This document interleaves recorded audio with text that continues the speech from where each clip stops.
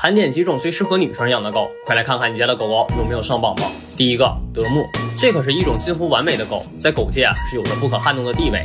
要颜值有颜值，要智商有智商，瘦小的你啊，要是有了它的陪伴，再也不怕十二点回家了。毕竟谁也不会随便招惹一只大狼狗了，稍加训练就能成为你的贴身保镖。但德牧的性格养成很晚，不做特殊的训练，不仅不凶，还会从小萌到大。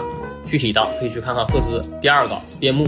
独居女生最重要的就是防患于未然，边牧主打的就是一个聪明加上胆小，它本身警惕性就很强，但凡有点风吹草动，它就能察觉到，让你在危险发生之前就做好逃跑的准备。而且养边牧还能防止被绿，懂的都懂。第三个哈士奇，上帝创造狼的时候打的草稿。养二哈呀，会让你提前感受到生活的刺激和社会的险恶，让你从此拥有一颗包容万物的强大心脏，欺软怕硬，精力旺盛，每天遛它呀，肯定能帮你减肥。但是它是一个爱胖体质，一不小心就变成了哈士猪。瘦小的你身边要是有了它，既能凸显出你的睿智，又能凸显出你的身材。第四个罗威纳，光听这名字就够拉风的了。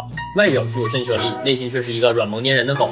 虽说它是烈性犬，劲儿还大，但是它服从性强，不爱惹是生非，是个铁憨憨。该出手的时候才会出手，具体的你去看看一图。第五个金毛，暖男可不是白叫的，女孩每天网购的东西很多，拿快递可是金毛的看家本领。毕竟是个巡回猎犬，在家帮忙送拖鞋、扔垃圾，它都能干。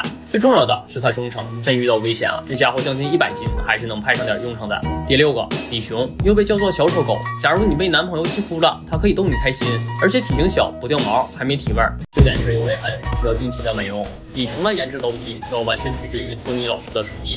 第七个柯基，首先柯基是个网红狗，圆圆的屁股，短短的腿，你带它出门，回头率绝对能爆表，而且相对好控制一些，一只手能给它拎起来。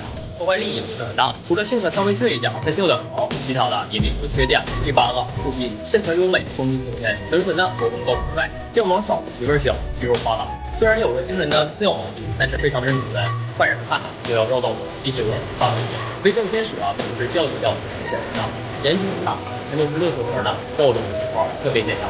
唯独一个胖乎，你跟他站在一起啊，更显出你的肉在上。第十个，不掉毛，很小，你觉得不是家，但不是不拆家，是关于不拆家这东西。两方漂亮的一双，这里要注意的是，出门遛狗，谁是的美，这是看颜色，没错，优先啊，优先。